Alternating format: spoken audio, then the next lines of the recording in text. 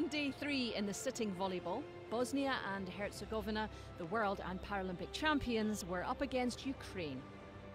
In action for Bosnia were their highest point scorers Mirzet Duran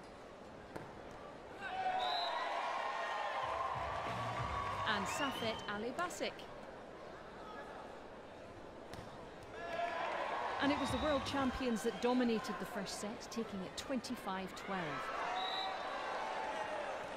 Ukraine got back into the match in the second, but Bosnia prevailed by three points. A Ukrainian comeback was never a realistic possibility, as Bosnia took the third set 25-15 and won the match in straight sets.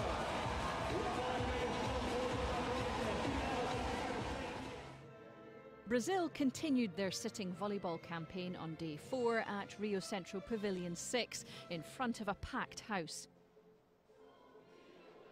hoping to extend their winning ways against world number four Egypt.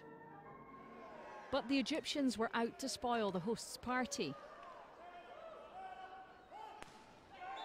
Captain Hesham Elshwick helping his team to a 25 18 opening set.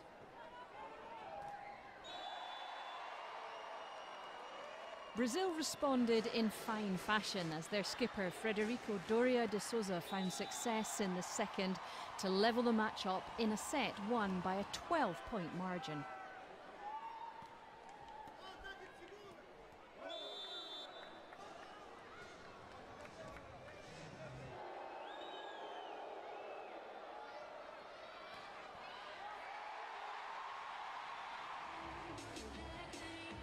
The third set epitomised this superb encounter.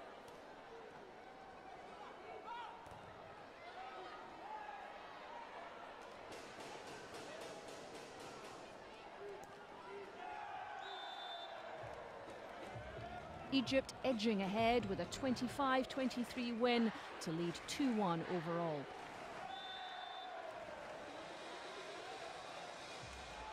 But like their Olympic volleyball counterparts, the Brazilians never know when they're beaten.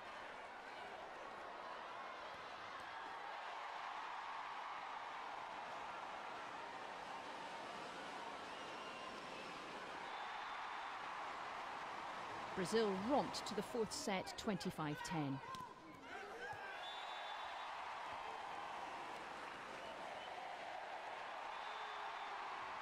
Egypt stayed composed though. El Sayed Musa finishing with over 30% spike success as the Egyptians broke the hosts' hearts and handed them their first loss of this testing pool.